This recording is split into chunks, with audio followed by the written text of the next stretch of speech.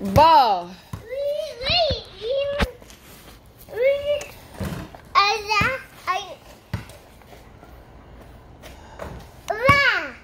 Ball.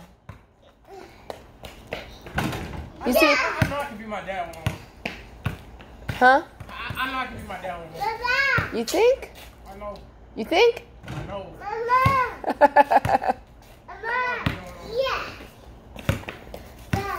Ball. I don't know, babe.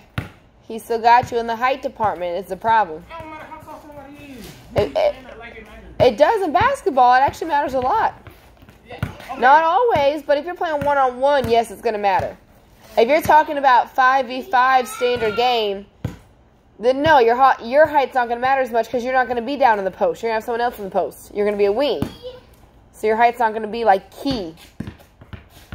But if it's 1v1 and he's got a good foot on you, I'm taller than me. You can't be me.